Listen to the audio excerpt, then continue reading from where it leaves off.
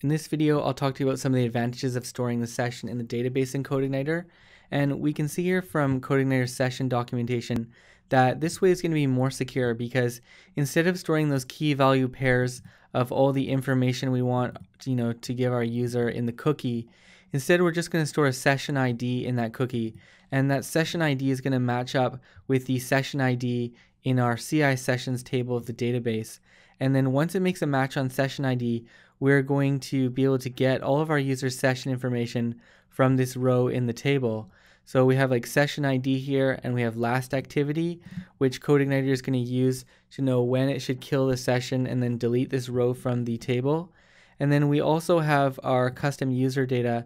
So for example, when our user logs in, then we start storing whatever um, user data we want for them, like maybe their name or whether they logged in or not, and things like that. You can store anything you want in this user data right here. And that's just stored in a serialized format um, in this cell of the database. So you can see that some of the rows here in my table, some of them have user data and some of them don't have user data set. And the reason for that is that I'm auto loading sessions um, in this CodeIgniter application. So that means no matter when a user visits our website, whether they're logged in or not, um, it's going to set a session for them on that first time. And it's going to store um, all of this information here from like last activity over to um, the first one. It's going to store all of this stuff in the session except for user data. User data is set by ourselves. So you'll see that um, I've actually started storing user data um, when the user first registers. And then after they log in, I'm actually updating this user data stuff right here. So let me just show you first how to um, create this table in your database. Um, on CodeIgniter's session page, um, if you just scroll down here and just make this a bit bigger, um, you'll see we have saving session data to the database. And all you have to do is just um, copy and paste this text right here um, into your, if you're using PHPMyAdmin, just uh, you know paste that into the SQL there, or you can type it in over command line, however you want to do it, and that is going to create this CI sessions table for you. The next thing you need to do is go over to your config.php, and you're going to scroll down here to this um, this bit about sessions and you're going to uh, make sure the table name is the same as uh, what it was, um, whatever it is in your database. In my case, it's just CI underscore sessions. And then we want sess use database. We want this set to true. And once you have um, these two things set, then CodeIgniter is going to automatically um, start storing the sessions in your database, provided you have you know a valid connection to your database and you have that table created. Another thing you can set in here is the session expiration. So I've currently set this to a week. You'll see I have 60 seconds times 60 seconds um, times 24 hours times 7 days. And you can set this to um, whatever number you want.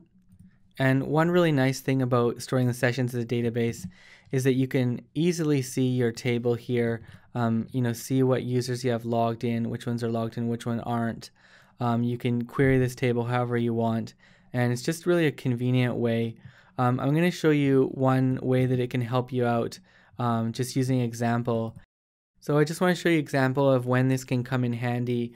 Um, you'll see at the bottom here, I have a new field which is um, users currently logged in. And this was really easy to do with CodeIgniter because we're storing the sessions in the database. And basically all I had to do was query that um, table in order to get this information. If you weren't storing your sessions in the database, you'd probably need to do something like you need to update your users table to add a column for logged in or not. And then you would need to update that value every time they logged in. And then you would need to update it again when they logged out. And then you need to query that, um, you know, to get this information. But it's a lot easier to do with CodeIgniter. And I'm going to show you how I did that. So I'm just going over to my helper file here. Um, in my case, I've created a custom helper and I have some of my, my own functions in here. And I'm just going to go down to this one here, um, which is function count logged in. And the first thing I'm doing is I'm getting an instance of CodeIgniter because um, I'm in a helper file right now, so we first need to get an instance of it. And the next thing I'm doing is creating my SQL statement, and I'm selecting the count from CI sessions where the user data is like logged in and then a one right there. So I'll just show you um, why I had to do like that. Let's just go back over um, to our sessions table for a second here.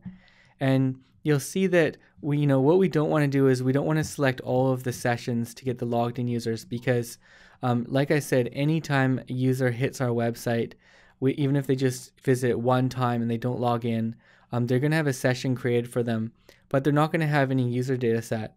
So the first thing that I did was I queried this database um, just to select this where user data is not equal to an empty string. Okay, so when I did that, I got all of the rows back that had something in here for user data. Okay, but the problem was um, inside my user data here, um, the, anyways, the way I did my application was um, I was setting some user data when they just registered, but logged in was being set to zero. And then when they actually did activate their account and then they logged into it, I I updated this to be logged in is, is equal to one.